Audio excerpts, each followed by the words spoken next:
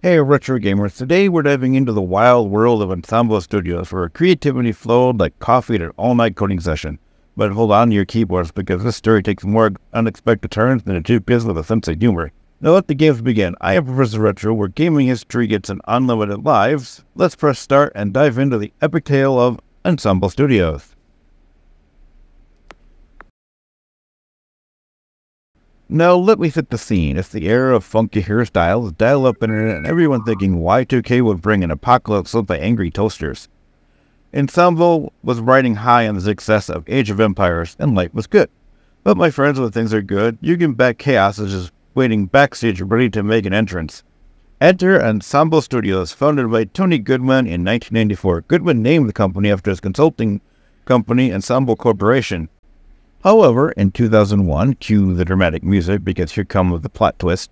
Those almighty computing overlords led by Bill Gates, Microsoft, acquired Ensemble in 2001, making Ensemble their internal studios. Now, imagine if you were gathering all your resources, preparing to build a massive base of Minecraft, when suddenly, like a creeper, Microsoft decides it's time for a corporate reshuffle, and Ensemble found themselves on the receiving end of the dreaded game over screen and disbanded in 2009. Ensemble Studios, known for developing popular games like Age of Empires, closed in 2009. Now, the main reason for this closure was due to Microsoft, the studio's parent company at the time, to restructure its gaming division. Microsoft opted for a change in strategy, shifting more towards a central approach in game development. This led to the closure of Ensemble as part of a broader restructuring plan.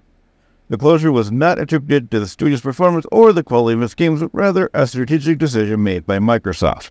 So as the curtains closed on the Age of Empires, the heroes of Ensemble disappeared, some forming new alliances and others retreating to their virtual citadels.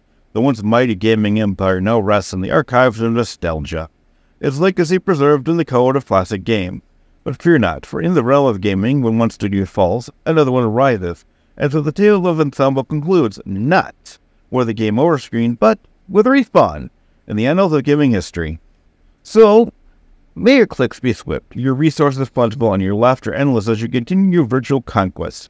We say farewell to Ensemble Studios. You may have disbanded, but your pixelated spirits live on in the hearts of every gamer who ever commanded an army with a mouse and a dream. And with that, I'm Professor Retro reminding you to hit that like button, ring that bell, and smash the subscribe button so you get the heads up of when another one of my videos respawn.